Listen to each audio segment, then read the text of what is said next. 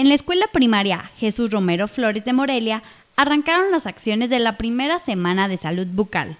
La directora del DIF estatal, Nelly Sastre Gasca, distribuyó flúor entre los estudiantes.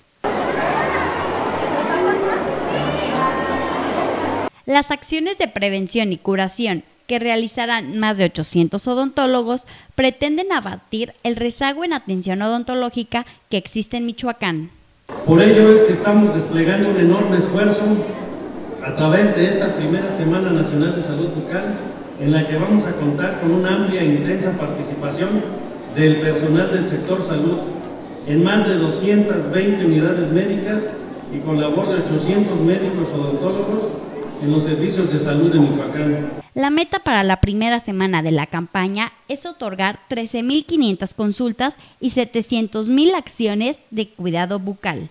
Las metas de esta primera Semana Nacional de Salud Bucal son otorgar más de 13.500 consultas, 600.000 actividades preventivas y 100.000 actividades curativas.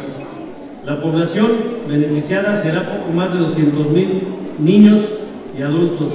La campaña de salud bucal que se realiza a nivel nacional es para crear conciencia en las personas acerca de prevenir, cuidar y atender la higiene bucal.